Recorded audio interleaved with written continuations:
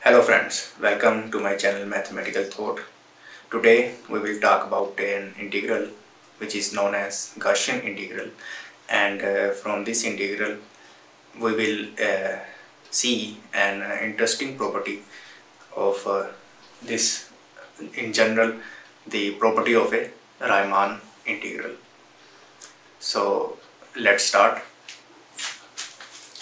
So this is our Gaussian integral from 0 to infinity and here is the graph of our function e power minus x square.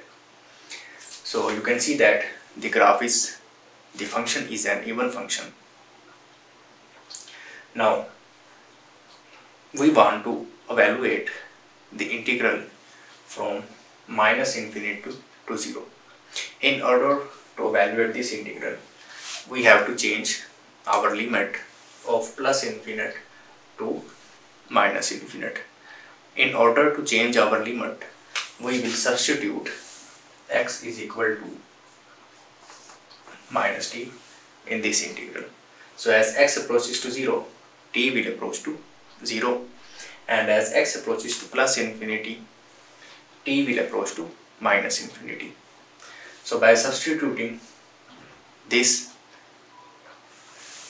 and if we evaluate dx what will we get? Minus dt now by substituting these two formulations in our given integral we will get so this limit x is equal to 0 we will get t is equal to 0 and x is equal to plus infinity we will get t equal to minus infinity.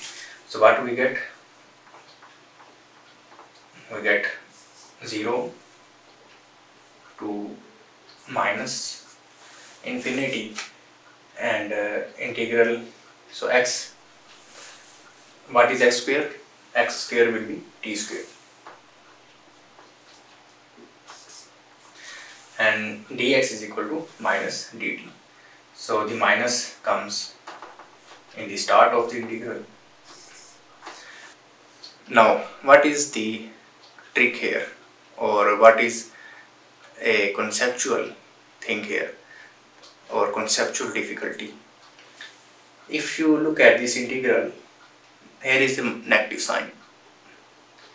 And if I ask you the question why the negative sign is here but the function from 0 to minus infinity is all positive. The function is same as from 0 to infinity and from 0 to minus infinity. So the integral should not be negative. In other words, this integral is equal to square root pi over 2. Then the integral from 0 to minus infinity should also be equal to square root pi over 2. So why this negative sign came here? Although we know that we can remove this negative sign by interchanging the limits. Interchanging the limits from minus infinity to 0, we will get another negative sign and this negative and negative cancel out. But still the question is there. Why are we getting this negative sign here?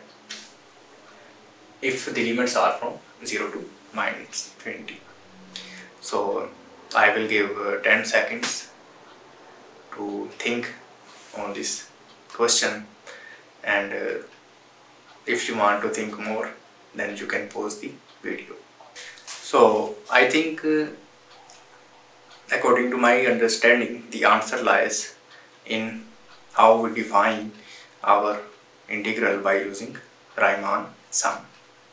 So if you look at the expression of Riemann sum it states that the sum of function over some partition is equal to this expression.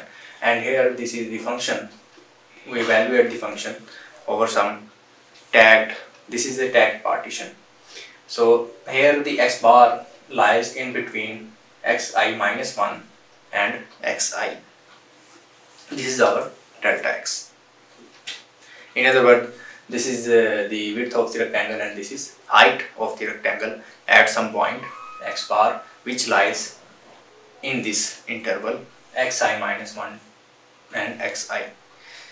If you look at this, you can see that uh, this the Riemann sum is uh, giving us the value of the integral if we move from 0 if you move from left to right. In other words this thing shows this thing tells us that uh, our uh, the delta x must be from left to right. In other words xi is greater than xi minus 1 and uh, since xi is greater than xi minus 1 xi then xi minus xi minus 1 is always greater than 0 this is the condition of Riemann sum. It always gives us the value of the integral from left to right. If we move from left to right it will give us the answer without any abnormalities. So what happened when we substitute x is equal to minus t here?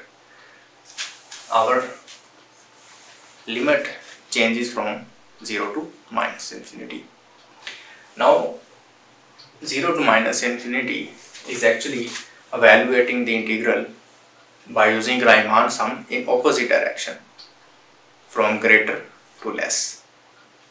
In other words, this integral is actually evaluating in this direction. And if you choose this direction from increasing to decreasing values on a real line, then what we will get here? We will simply get minus sign here if you al alternate the order of this delta x. So as n approaches to infinity, this delta x changes to dx and that's, that's why when we get minus infinity here, we also get minus dx is equal to minus dt here and we get a negative sign here. So what we have to do in order to get our answer square root pi over 2 we simply have to interchange the limits. So interchanging the limits minus infinity to 0 we will get another negative sign the property of definite integration and we get plus sign here and there will be no effect on our final answer it will be still square root pi over 2. I hope the video makes the point. I hope you will like this video. Stay tuned and uh, subscribe my channel.